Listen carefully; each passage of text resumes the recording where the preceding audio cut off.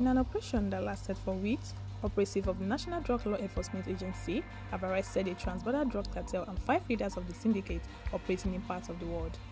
This was disclosed in a press statement released on Sunday, January 29, 2023, by the agency spokesperson Femi Babafemi. Babafemi said different quantity of skunk, methamphetamine, ephedrine, and air compressor used to conceal and distribute them globally were recovered during the operation. Other items we covered include a Lexus SUV and Toyota Jeep. This operation comes after the warning by the chairman and chief executive officer of the agency, Brigadier General Mohamed Buba Marwa, said that drug barons and cartel will have it rough in 2023 if they fail to back out of criminal business.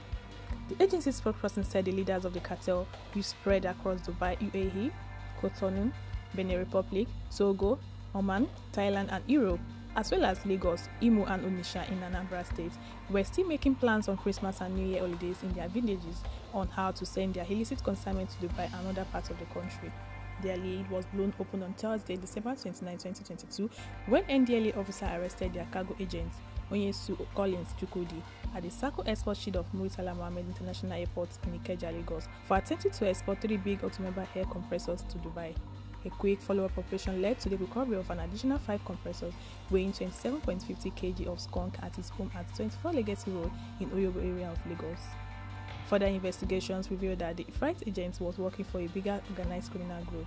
As a result, extensive operational tools were deployed, leading to the arrest of other kingpins.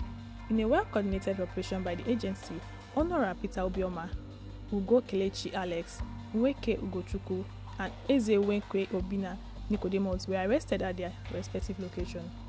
In response to the operation that resulted in dismantling the transnational cartel, General Marwa praised all men and officers involved in the effort to rid Nigeria of substance abuse and illicit drug trafficking. He therefore charged them and their compatriots across the country to remain steadfast and focused on the corporate goal of the agency.